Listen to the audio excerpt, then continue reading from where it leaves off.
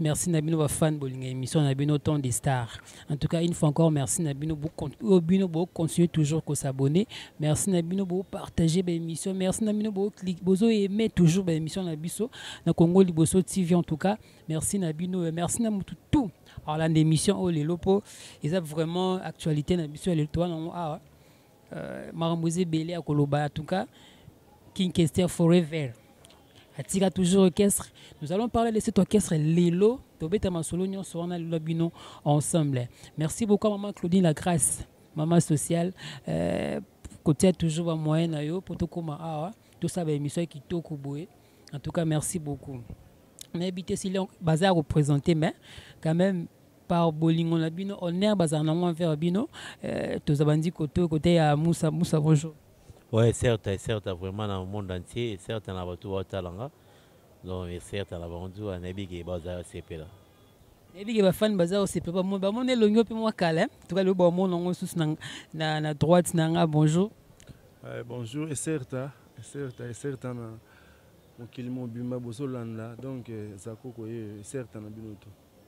Koko BCBG a se retrouver dans la Viva la Musica. Toko beta masolo mon kati awa ah lelo. Oh ya ya ya Victoria Layson plutôt toko beta masolo na lelo awa.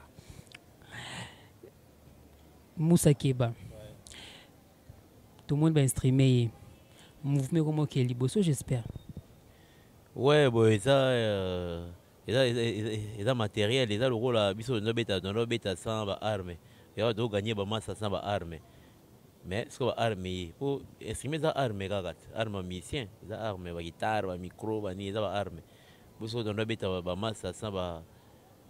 ba armes ce que ba armes yi bon okoya biso talo biso bato ya congo liboso tv to wana materiel na biso bamikro bacaméra do baarme na biso mpe ka yango wana mais lelo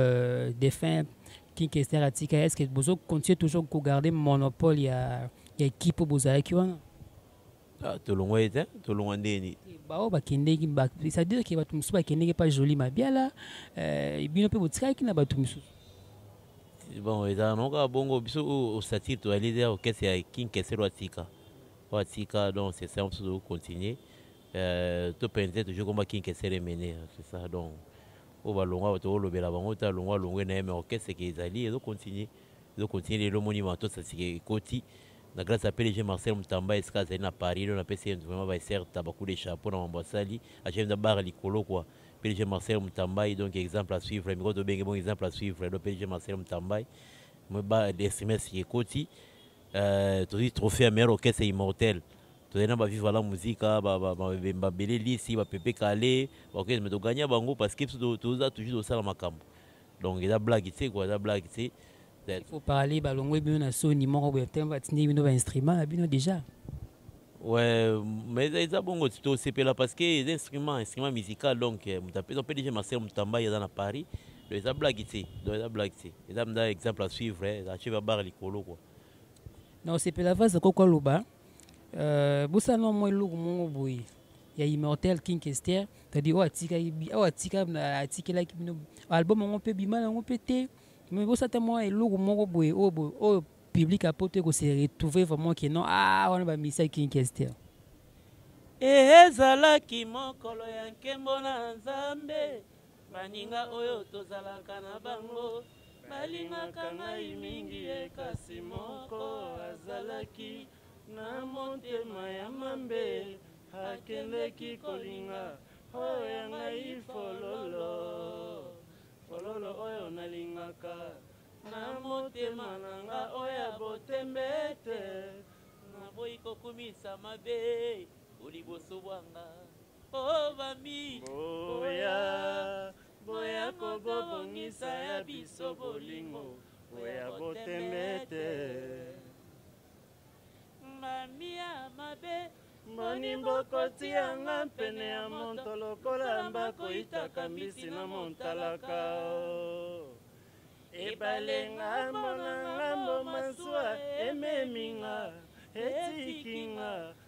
Na katikati ya ebale mbonge oo eyaki na makasi ebimisi mongongo ya mambe.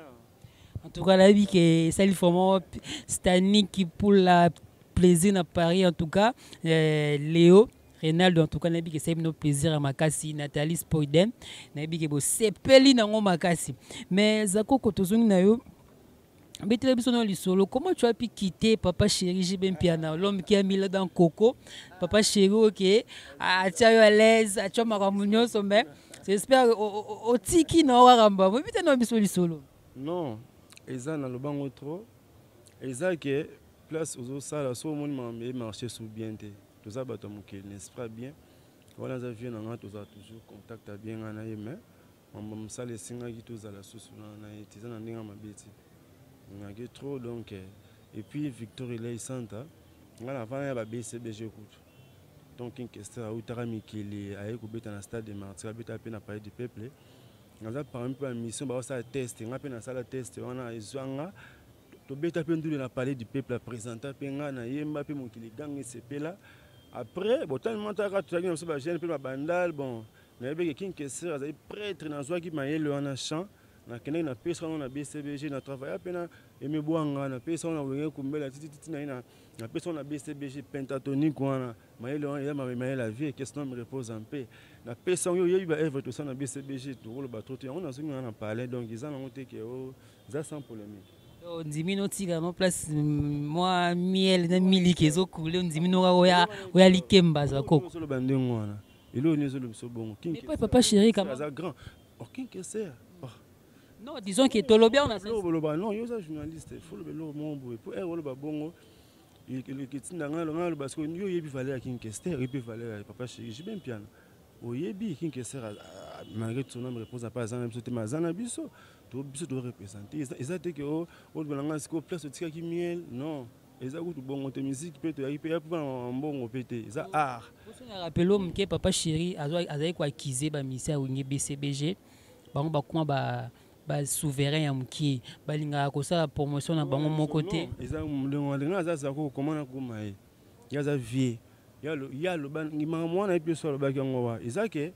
yo otuni nga question kuna nazala susu te na esprit ya bien eza ke nazala komona makambo na ngai ezala komarche su bien te mpo tozala na na yo yebi tokenda mikili tobeti bando totie banzembo bato basepela na yango bon ere omoni ke ezomarche esusu te ezo comprendre omoni ke ntango mosusu osala likambo no mosusu baoza wana contre mais yo oza nayo na ideologie wana te leki nango bale navandaki na ngai mpe ti navandi pan esprit eza mama nzambe ti tokangami na bamusa keba do bamusa keba bango bazali mpe ntango toyaki na bcg bango bazalaki mpe bandule na biso bayaka bandule preso amoni bango abiki bango bayembi ozo comprendre eza nango kote wana kutu donc même papa chéri mpasi aza asepelaka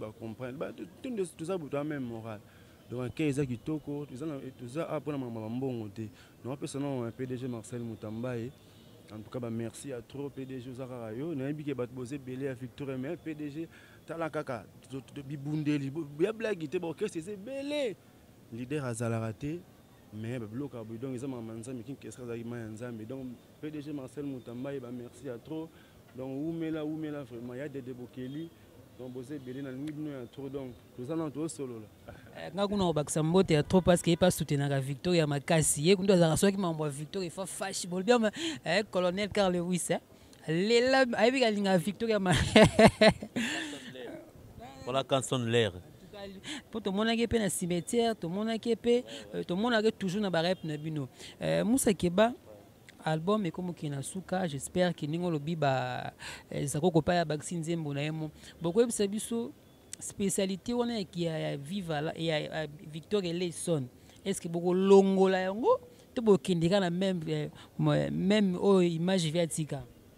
Ouais, bon, omoni euh, ki, ki Victoria ezanga ate ata mwa bempe me ki bamusa keba ki bazakoko ki betofolo ki banani boye ezanga te audio ezala makasi zakoko aza wana donc, Eh, eh, boye eza bongo te ezalaki no eh, mwa mwa ki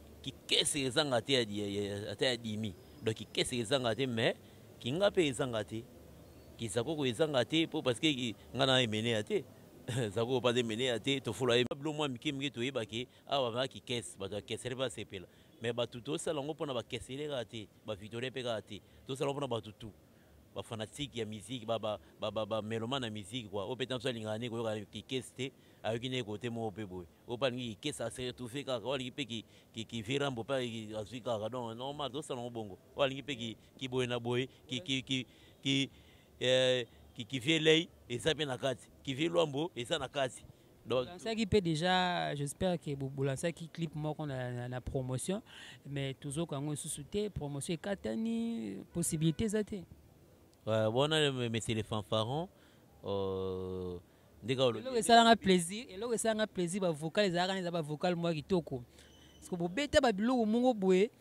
d'emblée bato bao se retrouver lisusu te eza eh, babengi mpena biso bakomeli biso mais makambo yango esuki wapi ouais olobi ya solo mpona promotion esayo nde kodimne bon yango wana bon nayebi kala mingi te ezonga nango mpo omoni tozwaki temps ya ya, ya, ya kotravaille banzembo etikali trop mais promotion ezonga nango Heritier Mvuki big manager ya Simba so makambo yango kala te yango nayebi ke kala mingi te eh, po promotion ezala lar yango moni ba Pablo ngia ngia ngia ngia budi eh Pierre Pierre Pablo ngia budi naopesa motu moko boye ye mpenza soki lar aotinda balar tosala yango wawe naopesa okomona stani kipula na ye aza na belgique alelaki nkester ebele stani kipula stani kipula stani kipula oyo ezali orchestre ya kinkeser Yebi kaka donc biso toza wana toujours pona kopenise kombo wana donc kopenise kombo esenga balar Stanley Kipula Stanley na Belgique Stanley Kipula ata oyebi bakombo na nga te metinda pa ya pa pa Trezeguet topesi to la promotion makambo to proinise toujours kombo King Kesele Mene e eh, nga na olia yango bon so olia yango nga na nga napesa numero na nga donc napesa déjà avant pesa numero déjà azala azwa déjà numero numero avant so benga plus 43 89 93 26 253 ozwanga musa keba donc plus eza 43 89 93 26 253 ozwanga tosola kitoko ezalaka nde ezala Est-ce que Sean et euh, Monsieur les fanfarons pe euh, zako kwazi biango de j'espère qu'il y a biango de pour vocal ba ba nse mango zaka tellement kitoko boko sala biso sumwa kapela mkiete tora bazoko zongo suba tu na moi image na bi wana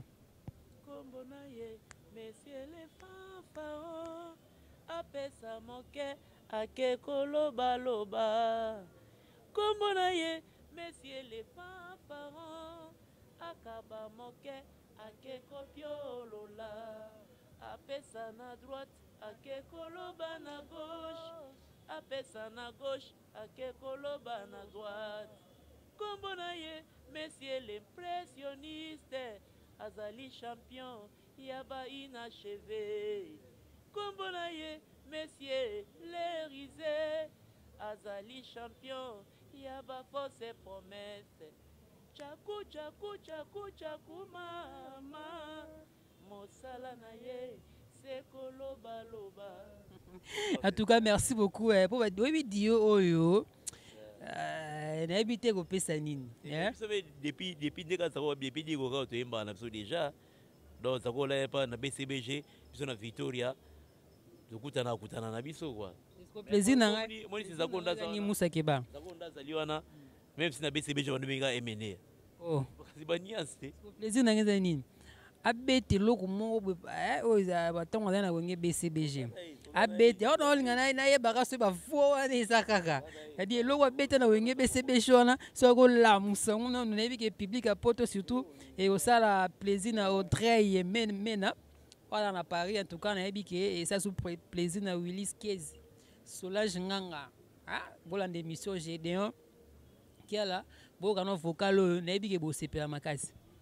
nakomi lokola panie bakanga na velo ye ata ememi loso masangu merci na yango na fulu bakakoli jaki yo kongo lokola liyanga na équateur batanda ememba yo mipiko mipiko lokola fu mwana wenzaki kwiti ye sango mpe epanzana lokola portete na maboko ya mpapi emongo Franck Ebondo, Patrice Kafua, Didier Sesa, Pichukani, Jekamine. nakomi lo en tout cas ça fait plaisir hein? musa keba en tout cas euh, zakoko obeti na baorchestre nyonso olobi wana ozongi na victor eleison mpo oya kozongisa ko, ko, ko j'espère qu'il y a ko zong c'est sous kotia moi mais forte moko boye na ba collègue no ya kala yebisa biso nzembo na yo wana oyo lelo osali euh, ekoya oyo oyo ekokota ekoya na ekoyaka na na structure ya non omoni ndenge ndenge keba alobi omoni biso toza ba artiste ndeka alobi kikinkese ndambe kozanga te mais fo bayoka mpe kizakoko baopike kimusi ozo comprendre ndenge eza wana oyo eza musique congolaise te mpo kinkese mpe aza kobeta to azo comprendre donc azalaki azalaki place moko te kaka akangama esika moko azali na barecherche donc biso to bapetit biso mpe tozala mpe na barecherche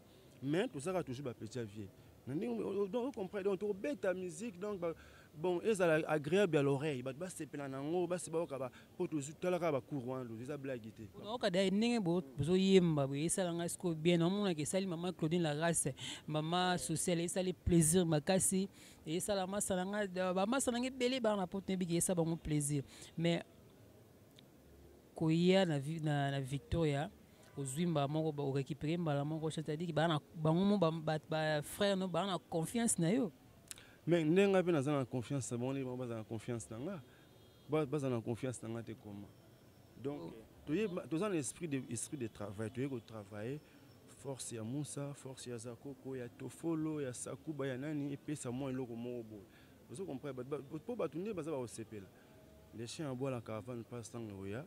mandobima par volume to bato bakosepela banzembo eza wana ya dega ya kosakana te don nayebisa bino donc eh, partout dans le monde bozela ma albumu eza blagi te bosepela makasi bosantir bacouleur mo totie na kati wana donc no bato bayemba ndenge wana te mais question moko mpe par curiosité yenga na pose question wana c'est-à-dire outi bcbg ondimi ozonga na yo na ba confrère na yo mosusu bokozonga bozonga na mpo botombola mais pourquoi pas ose décidaki ke osala mpe orchestre na yo moko non omoni mamba orchestre omoni basalaka mpe orchestre na sentiment mpe te orchestre eza mama nzambe ngai nakola ngai naza ngombele te nalandaka mpo motu moko asalaki orchestre alingai mpe naki nasala orchestre non kosala mpe orchestre eza nango namona na yango mpeza kidanger te kosala orchestre makambo soki etindamaka bongo e, e, ekokisamaka nango kolanda te so osali kaka mpo na masana ebele mpe tomoni bango ah orchestre ebele eza donc nayebi te tomona bapeti na bino ebele kutu bango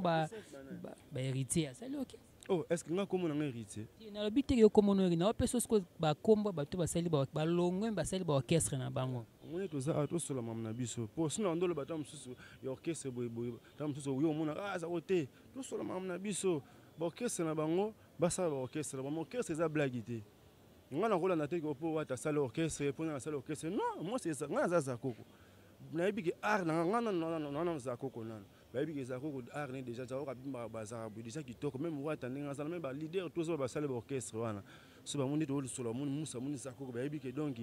to batala nse baza wana donc eza nango kutu mambaorchestre nga na mwana na nga na pe tobeta maboye eza nango mabe te yango mpe bien mais biso toko neti nga nakolanda te ke moto mo pasaki orchestre ngai nalandi ye te wana kutu namona yango soki etangamaki un jour musa akosala mpe un jour akosala mouvement ngai naosala donc mais eza makambo balandaka te okoma ngombele olandi ti bomoni te ekomi osala mpe orchestre esengaka esengaka soutien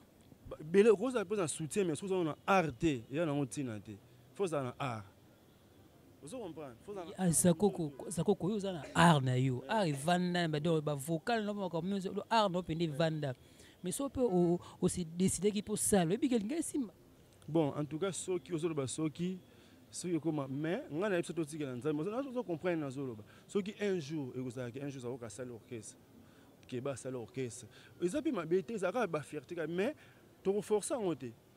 ozo comprendre oforce yango te eza na bato ebe bayebisaka mpe biso toyokaayebisa aza komia te ngai nakolanda kingandi te ozo comprendre ye motu na ngai donc eh, nasi bato ya mayele bazo comprendre nazoloba donc bato basepelaka na nde zakoko azali ah, te bien eza na oh, oh. mais tosa tokozala bahypocrite te neti wana baart boyeke soki esenge topesa mpe babiloko eza makambo ya nzambe te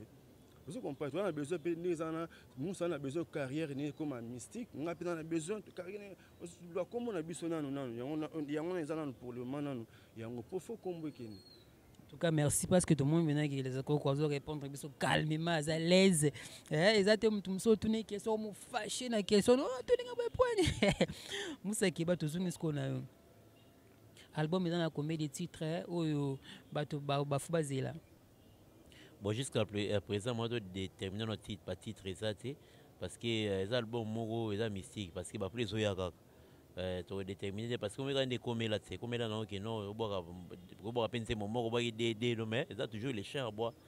caravane passe donc jusqu'à présent moi to déterminer no eza te parce que fondé cartouche pe eza na kina ye mzaki na matos ye pa yesu na boule abakisa eza mwa debord donc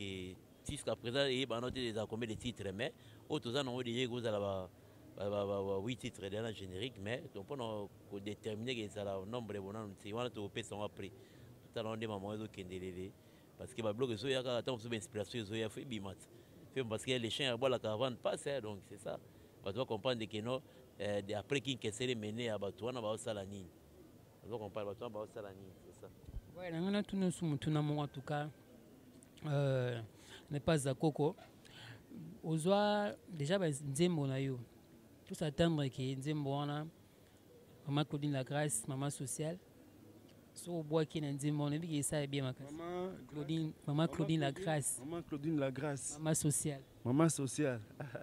Na mona ona lutse mais ndenge alobi na censura belle femme. Donc tara ba maman sociale ba solara bien. Soko bois qui penda. Mais oui, pourquoi pas na bois. Donc euh, donc euh, grand prêtre mère, eh? Maman Claudine,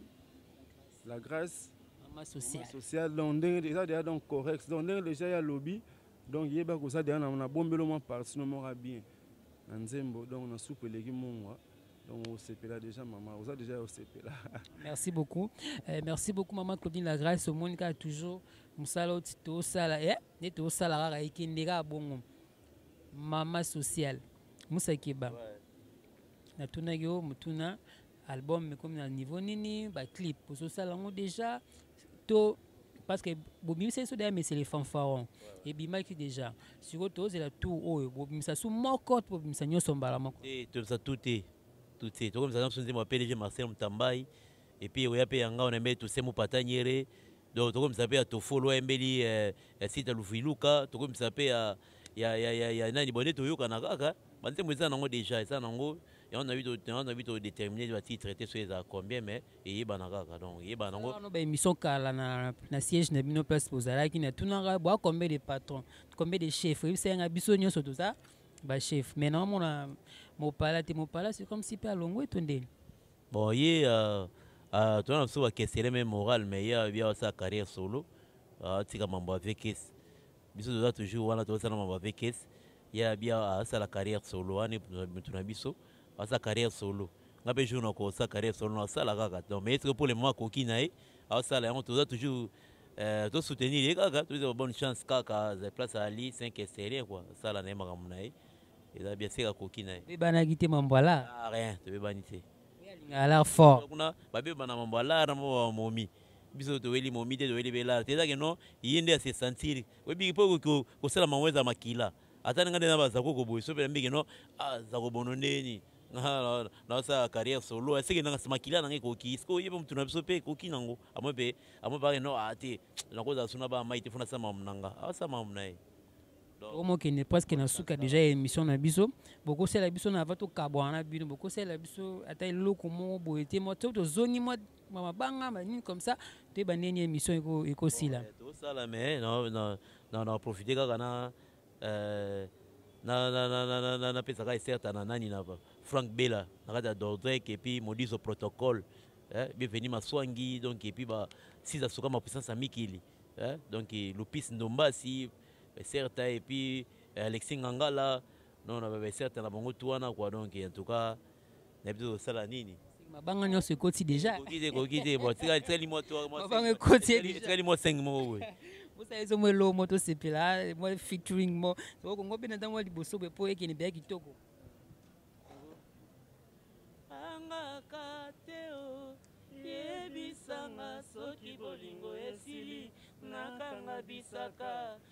Nazonga na mboka epai baboti ba mon amour.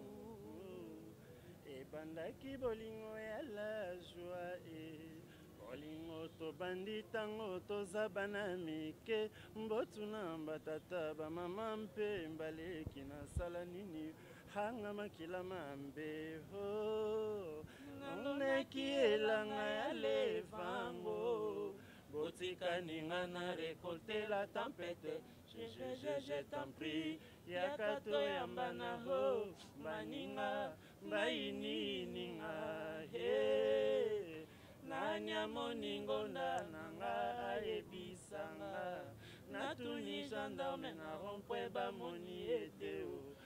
ngonda nanga suki ya moto tubo ya bameme atondisi kolya babiju na kingo na ye o ngonda nanga malasi lokolelanga ya bino En tout cas, merci beaucoup. En tout cas, merci à toi, Audrey Yemenas, Wills, ah, tu as dit Wills, Wills Kezi la part de Peggy Sainté, en tout cas, mon vieux Peggy Sainté en Belgique, merci beaucoup. Euh, Solange Nganga,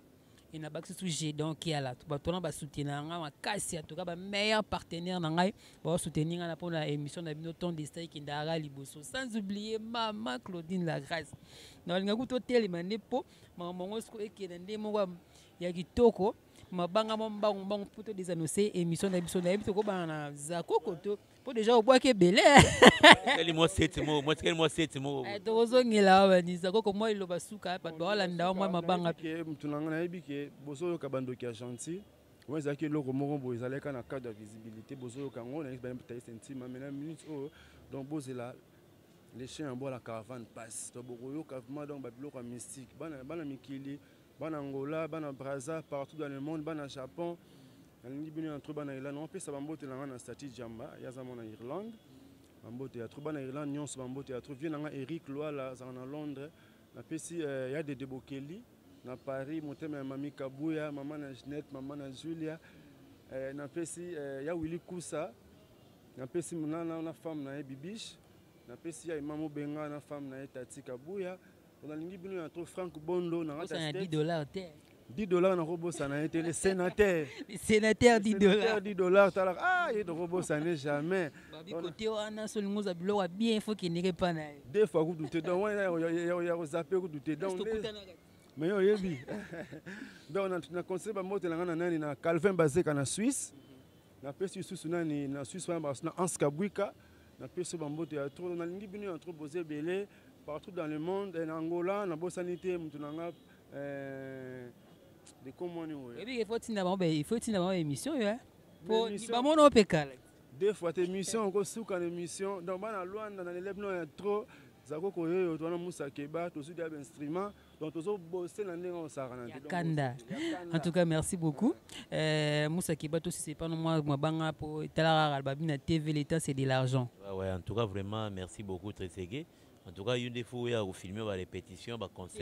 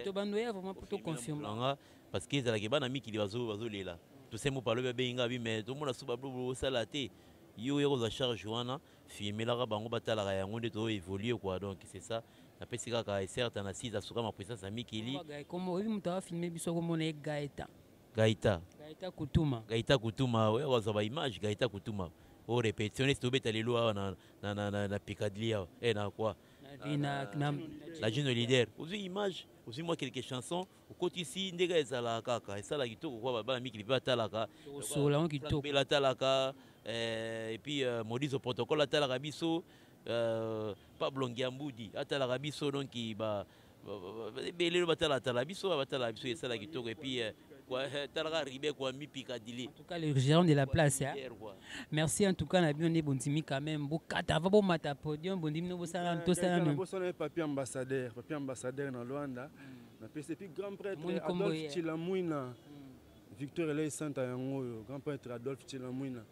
mbote ya trop merci vraiment merci na bino tout bolanda émission pdg marcel mutambai